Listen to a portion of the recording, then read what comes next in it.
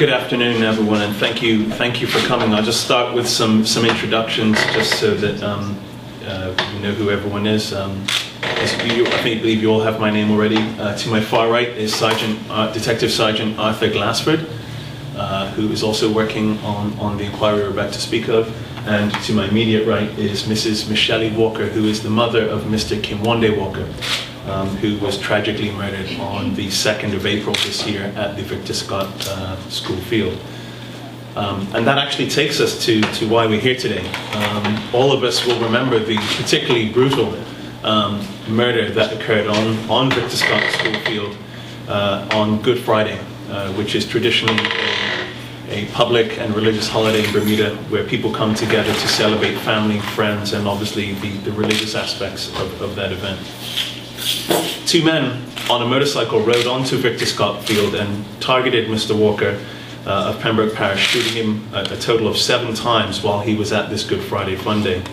Good Friday was a clear, sunny day, and there was nothing obvious in place to obstruct the views of the approximately 30 to 60 people uh, that were present on the field that day. He was present with his nine-year-old son and four-year-old daughter who had the horrific experience of watching their father murdered in front of their eyes.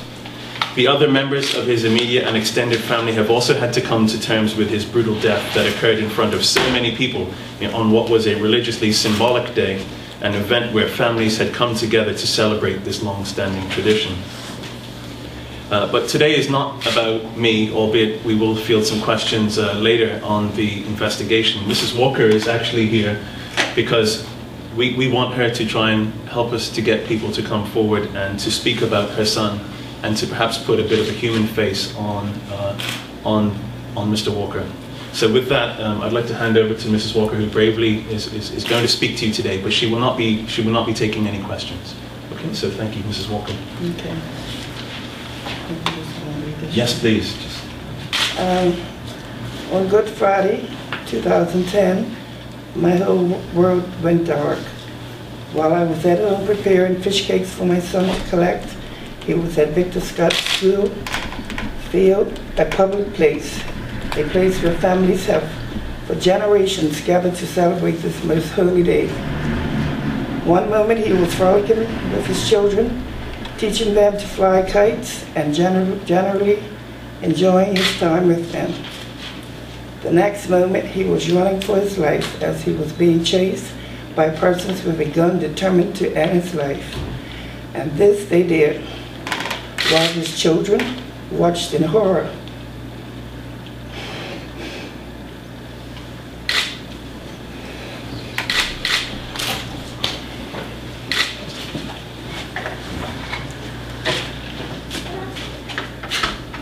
I have searched my mind and my heart, and I cannot think of anything, not anything that anyone could do to deserve this. I carried him, I nurtured him, I loved with him. I cried with him. I gave him life. And in one hateful moment, they took it all away.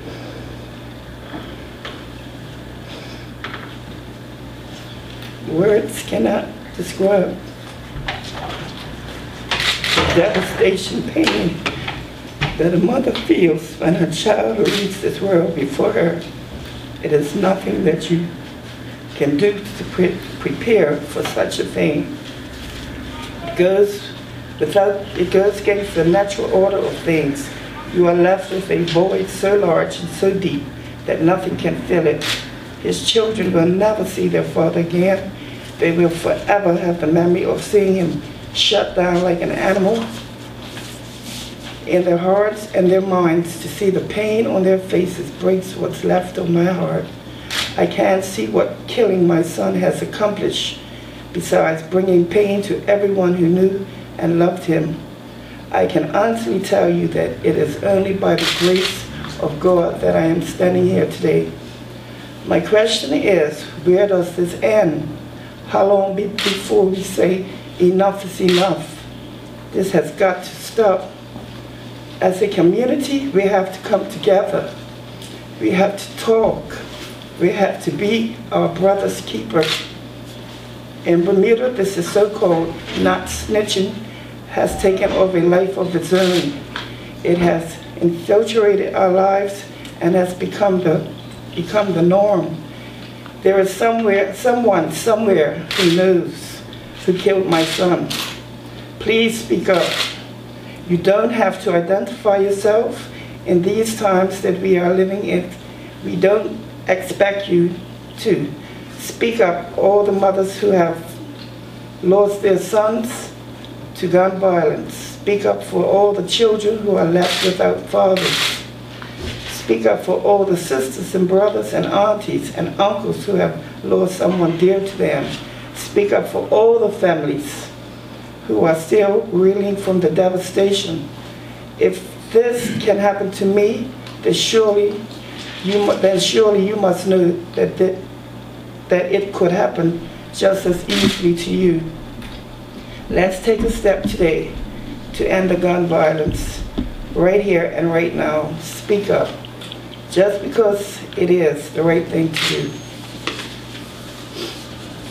As I lead you, as we go about our lives from day to day, I pray that God protects us and guides us, and we try to heal as a community and as a people.